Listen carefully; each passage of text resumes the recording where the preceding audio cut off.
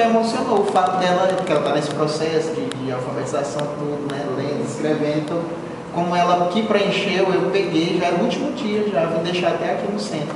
Olha aí, viu? E aí, quando foi à noite que a gente estava recebendo a ligação que ela foi contemplada. Você já conhecia já, né? Já, já conheci, mas muitas vezes a gente nem, nem assim, eu nem preencho muitas vezes, assim, o que me fez foi o, o fato de ver que ela preencheu, isso me emocionou, aí eu vim deixar e à noite foi contemplada. Tá vendo? Filhos são maravilhosos. Recebemos a ligação, né? Agora. Pois parabéns.